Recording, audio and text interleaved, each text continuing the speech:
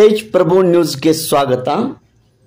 ಬುದ್ಧಂ ಶರಣಂ ಗಚ್ಚಾಮಿ, ದಮ್ಮಂ ಶರಣಂ ಗಚ್ಚಾಮಿ, ಸಂಗಂ ಶರಣಂ ಗಚ್ಚಾಮಿ, ಸಂಗಂ ಶರಣಂ ಗಚ್ಚಾಮಿ.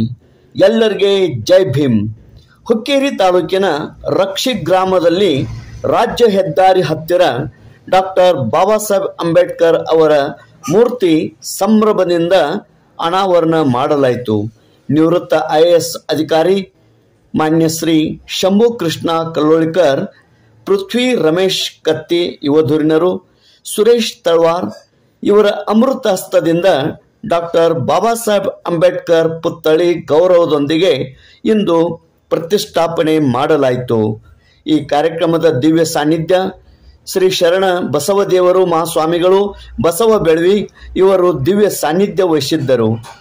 ಉಪಸ್ಥಿತಿ ಐ ಎಸ್ ನಿವೃತ್ತ ಅಧಿಕಾರಿ, ಜನನಾಯಕ, ಬಡವರ ಬಂಧು, ದೀನ ದಲಿತರ ಕಣ್ಮಣಿ, ಮಾನ್ಯ ಶ್ರೀ ಶಂಭು ಅಣ್ಣ ಕೃಷ್ಣ ಕಲ್ವಳ್ಕರ್ ಸುರೇಶ್ ತಳವಾರ್, ಪ್ರಕಾಶ್ ಮೈಲಾಕೆ, ಕಿರಣ್ ಶಿವರುದ್ರ ಕಲ್ವಳ್ಕರ್ ಶ್ರೀಕಾಂತ್ ತಳವಾರ್, ಕರಪ್ಪ ಗುಡೆನ್ನವರ್ ವಿಠಲ್ ಮಾದರ್, ಶಿವಾನಂದ್ ಮರಿನಾಯಕ್, ಉದಯ್ ಹುಕ್ಕೇರಿ, ಮುತ್ತೂರ್ ವಿಠಲ್ ಪಾಟೀಲ್, ಬಾಳಪ್ಪ ಭೀಮಣ್ಣವರ್ ಮಹೇಶ್ ಬಡಗಾಮೆ, ಶಿವಾಜಿ ಬಾಳೆಶ್ಕೋಳ್ ಸವಿತಾ ಅಸೋದೆ, ಲತಾ ಶ್ರೀಕಾಂತ್ ತಳವಾರ್, ಸುಜಾತಾ ಗಾಯನಕಟ್ಟಿ, ಅಕ್ಷಯ್ ತಳವಾರ್, ಮಂಜುನಾಥ್ ತಳವಾರ್.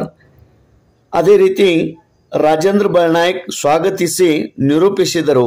ಈ ಎಲ್ಲ ಗಣ್ಯಮಾನ್ಯರು ವೇದಿಕೆ ಮೇಲೆ ಉಪಸ್ಥಿತರಿದ್ದು, ಈ ಕಾರ್ಯಕ್ರಮಕ್ಕೆ ಶೋಭೆ ತಂದು ಕಾರ್ಯಕ್ರಮವನ್ನು ಯಶಸ್ವಿಗೊಳಿಸಿದ್ದಾರೆ. ಡಾಕ್ಟರ್ ಬಾಬಾ ಸಾಹೇಬ್ ಅಂಬೇಡ್ಕರ್ ಅವರ ಪುತ್ಥಳಿ ಅನಾವರಣದಲ್ಲಿ ಅಂಬೇಡ್ಕರ್ ಅವರ ಅಭಿಮಾನಿಗಳು, ಯುವಕರು, ಗ್ರಾಮಸ್ಥರು ಹಾಗೂ ಎಲ್ಲ ನಾಗರಿಕರು ಇದರಲ್ಲಿ ಅಭಿಮಾನದಿಂದ ಪಾಲ್ಗೊಂಡಿದ್ದರು. ತೇಜ್ ಪ್ರಭು ನ್ಯೂಸ್, ರಕ್ಷಿ. ಸಂತೋಷ ಮತ್ತು ವಿಷಯ. ಇವಾಗ ಬಾಬಾ ಸಾಹೇಬ್ರು ಈ ದೇಶಕ್ಕೆ ಎಷ್ಟು ಪ್ರಶಸ್ತ ಅಂತ ನಮಗೆಲ್ಲರಿಗೂ ಗೊತ್ತಾಯ್ತು. ಈ ದೇಶ ಇವತ್ತು ಒಂದು ಬೃಹತ್ ರಾಷ್ಟ್ರವಾಗಿ ಈ ವಿಶ್ವದಲ್ಲೇ ಒಂದು ಡೆಮಾಕ್ರಸಿಯ ಮದರ್ ಆಫ್ ಡೆಮಾಕ್ರಸಿ ಏನಂತೀವಿ, ಅದು ಆಗಾಕ ಸಾಧ್ಯ ಯಾಕಂದ್ರೆ ಅಂದ್ರೆ ಬಾಬಾ ಸಾಹೇಬರು ಕೊಟ್ಟಂತ ಸಂವಿಧಾನ. ಮತ್ತು ಸಂವಿಧಾನದ ಯಾವಾಗ ಅವ್ರ ಚಿತ್ರ ನೋಡ್ತೀವಿ, ಅವಾಗ ನಮ್ಗೆ ಎಲ್ಲರಿಗೂ ನೆನಪು ಬರಬೇಕು ಏನಪ್ಪಾ ಅಂತಂದ್ರೆ ಬಾಬಾ ಸಾಹೇಬರ ತ್ಯಾಗ, ಬಲಿದಾನ ಮತ್ತು ಅವ್ರಿಗೆ ನಮ್ಮ ಕೊಟ್ಟಂತ ಏನ್ ಈ ವರದಾನ ಇದೆಯಲ್ಲ ಅದನ್ನ ನೆನೆಸ್ಕೊಂಡು ನಮ್ಮ ಮಕ್ಕಳ ಭವಿಷ್ಯ ನಮ್ಮ ಮಕ್ಕಳ ಭವಿಷ್ಯದ ಬಗ್ಗೆ ನೀವು ಚಿಂತನೆ ಮಾಡಿಕೊಂಡು, ನಿಮ್ಮ ಆತ್ಮಾಲೋಕನ ಮಾಡಿಕೊಂಡು ನಾವು ಇರಬೇಕು ಅನ್ನೋ ಒಂದು ಸಂದರ್ಭದಾಗ ಈ ಮತ್ತೆ ಈ ಮೂರ್ತಿಯನ್ನ ಈ ಗ್ರಾಮದ ಜನರು ಮತ್ತೆ ಈ ಮೂರ್ತಿ ಸ್ಥಾಪನಾ ಕಮಿಟಿ ಐತಿ. ಅವ್ರು ಬಹಳ ಚೆನ್ನಾಗಿ ಮಾಡ್ಯಾರ. ಅವ್ರಿಗೆಲ್ಲರೂ ನನ್ನ ಅಭಿನಂದನೆಗಳು ಸಲ್ಲಿಸಿ ನನ್ನನ್ನ ಈ ಕಾರ್ಯಕ್ರಮಕ್ಕೆ ಮುಖ್ಯ ಅತಿಥಿಯಾಗಿ, ವಿಶೇಷವಾಗಿ ಎಲ್ಲ ನನ್ನ ಸಹೋದರಗಳ ಕರೆದು ನಮ್ಗೆ ಸನ್ಮಾನ ಮಾಡಿದ್ದಕ್ಕೆ ನಾವು ಧನ್ಯವಾದಗಳನ್ನ ಹೇಳುತ್ತಾ, ನೀವು ರಕ್ಷಿ ಜನ ಎಲ್ಲರೂ ಸ್ವಾಭಿಮಾನಿಗಳಾಗ್ತೀರಿ, ಮತ್ತು ಸ್ವಾಭಿಮಾನದಿಂದ ಬದುಕಿರಿ ಅಂತ ಕೇಳ್ಕೊಂಡು ಆ ಯಾಕಂದ್ರೆ ನೀವು ಇನ್ನೂ ಬಹಳ ನಿಮ್ಮ ಮಕ್ಕಳು ಒಳ್ಳೆ ಶಿಕ್ಷಣ ತಗೋಬೇಕು ಅವ್ರು ಒಳ್ಳೆ ನಾಗರಿಕರಾಗಬೇಕು ಅವ್ರ ಸಮಾಜದಾಗ ಒಳ್ಳೆ ಒಂದು ಪೊಸಿಷನ್ ಹೋಗ್ಬೇಕು ಅಂತಂದ್ರೆ ನಮ್ದು ಸ್ವಾಭಿಮಾನದ ಬದುಕಬೇಕಾಗೈತಿ ಈ ಗುಲಾಮಗಿರಿಯಿಂದ ಹೊರಗೆ ಬರಬೇಕಾಗೈತಿ ಅದನ್ನ ನೀವು ತಿಳ್ಕೊಂಡ ನಿಮ್ಮ ಮುಂದಿನ ಈ ಏನು ನಿಮ್ಮ ಬಾಳಿಗೆ ನೀವು ಪ್ಲಾನ್ ಮಾಡ್ಕೊಂತೀರಿ ಅಂತ ಹೇಳ್ಕೊಂಡು ಇವತ್ತು ಈ ಕಾರ್ಯಕ್ರಮಕ್ಕೆ ಇನ್ನೊಮ್ಮೆ ಬಾಬಾ ಸಾಹೇಬ್ರನ್ನ ನೆನೆಸ್ಕೊಂಡು ಅವರ ಆಶೀರ್ವಾದ ನಮ್ಮ ಮೇಲೆ ಸದಾ ಇರಲಿ ಅಂತ ಬೇಡ್ಕೊಂಡು ನನಗೆ ಮಾತಾಡಕ್ಕೆ ಅವಕಾಶ ಕೊಟ್ಟಿದ್ದಕ್ಕೆ ನಾನು ನಿಮ್ಮೆಲ್ಲರಿಗೂ ಧನ್ಯವಾದಗಳನ್ನು ತಿಳಿಸ್ತೀನಿ. ಧನ್ಯವಾದ. ಜಗತ್ತಿನ ನೂರ ತೊಂಬತ್ತೊಂದು ದೇಶ ವಿಶ್ವರತ್ನ ವಿಶ್ವಜ್ಞಾನಿ ಮಹಾಮಾನವ ಆರ್ಥಿಕ ತಜ್ಞ ಶಿಕ್ಷಣ ತಜ್ಞ ಸಮಾಜ ತಜ್ಞ ವೈಚಾರಿಕ ಚಿಂತಕ ಸ್ವಾಭಿಮಾನಿ ಸೂರ್ಯ ಇಡೀ ಜಗತ್ತೇ ಕಂಡಿರ್ತಕ್ಕಂಥ ಪ್ರಜ್ಞಾವಂತ ಸೂರ್ಯ ನೀರಪ್ಪ ಡಾಕ್ಟರ್ ಭೀಮರಾವ್ ರಾಮಸಪ್ಪ ಅಂಬೇಡ್ಕರ್ ಅಂತ ಮಾತು ಹೇಳುವಾಗ ಅವ್ರಿಗೆ ಎರಡು ನಿಮಿಷ ಮಾತಾಡಬೇಕು ಹೇಗೆ ಮಾತಾಡ್ತೀವಿ ಆದ್ರೆ ನಾವು ಕೂಡ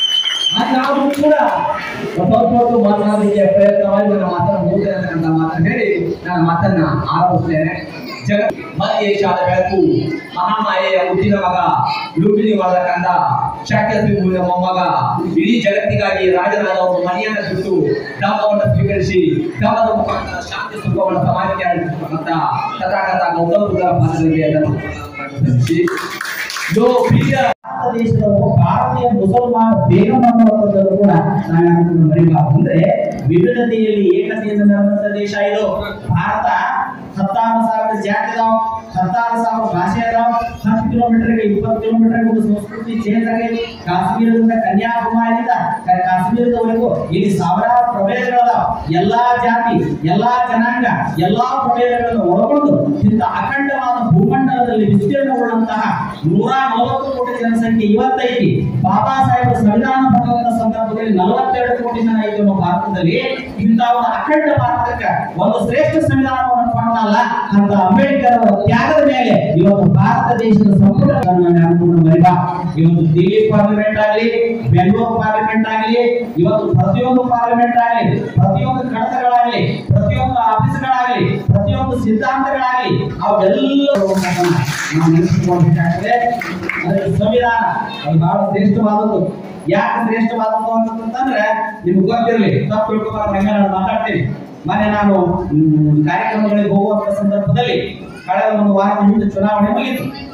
ಇವತ್ತು ದೊಡ್ಡ ದೊಡ್ಡ ವ್ಯಕ್ತಿಗಳು ಚುನಾವಣೆಯಲ್ಲಿ ಸ್ಪರ್ಧಿಸಿದ್ರು. ಸಾಹೇಬರು ಅವರು ಐ ಎ ಎಸ್ ಆಫೀಸರ್ ಇವರು ಐ ಎ ಎಸ್ ಆಫೀಸರ್ ಇರುವಂತ ಸಾಹೇಬರು ಇವತ್ತು ಸಮಾಜ ಸೇವೆ ಮಾಡಬೇಕನ್ನುವಂತ ಈ ಹಿಡ್ಕೊಂಡು ಬಂದಿದ್ದಾರೆ. ಒಳ್ಳೆ ಇವತ್ತು ಬಹಳ ದೊಡ್ಡ ಶ್ರೀಮಂತರು ಲ್ಯಾಂಡ್ಲಾರ್ಡ್ಗಳ ಚುನಾವಣೆಗೆ ನಿಂತಿದ್ರು. ಇವತ್ತು ನಿಮ್ ಕೆಲಸ ಅವ್ರ ಕಡೆಯಿಂದ ಆಗ್ಬೇಕಾದ ಟೈಮ್ನಾಗ ನೀವು ಹೋಗಿ ಹೊರಗೆ ಕೇಳ್ಕೊಂಡಿರ್ತೀವಿ ಯಾಕಂದ್ರೆ ಸಾಹೇಬ? ನಾವೆಲ್ಲ ಕೈ ಮುಕ್ಕೊಂಡಿರ್ತೀವಿ ಆದ್ರೆ ಈ ದೇಶದ ಸಂವಿಧಾನ ಎಷ್ಟು ಚಲೋ ಐತೆ ಅಂದ್ರೆ ಬೆಟ್ಟದಿಂದ ಒಬ್ಬ ವ್ಯಕ್ತಿ ಅನ್ನೋದನ್ನು ಸಾಮಾನ್ಯ ಜನ ಇದಕ್ಕೆ ಹೋಗಿ ಮಾಡೋದು. ಅದ ಈ ದೇಶದ ಸಂವಿಧಾನ.